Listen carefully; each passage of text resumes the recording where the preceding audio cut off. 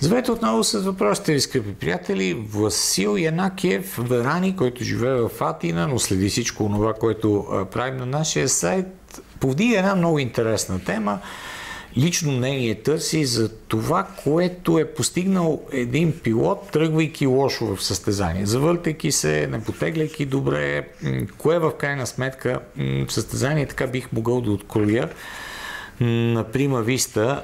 Честно казано, от всички подобни надпревари, които съм гледал в крайна сметка, може би най-ярко ме е впечатлил Хамилтън през 2006 година в Истанбул.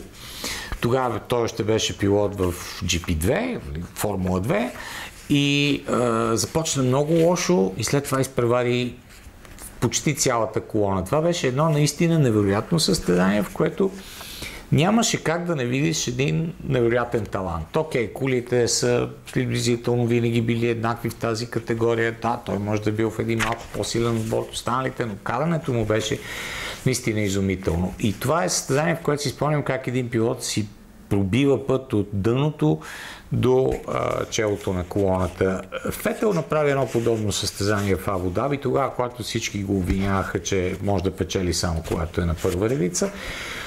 Така че реално при всички пилоти, така от е, световните шампиони, може би има е, подобни надпревари. Алонсо във Валенсия, ако не се лъжа 2012 година, пак беше във втората половина, 11 доколкото помня, беше в е, колоната и спечели. Това беше наистина някаква велика победа, защото Испания бяхме на това, на това състезание. Така че много, много надпревари има подобни, в които някой е изоставал и след това е направил нещо изумително. Сега в е, историята на формулата 50-60 години има доста такива случаи, в които обаче и разликата в колите е била съвсем различна, и конкуренцията не е била тази, която има в модерната формула.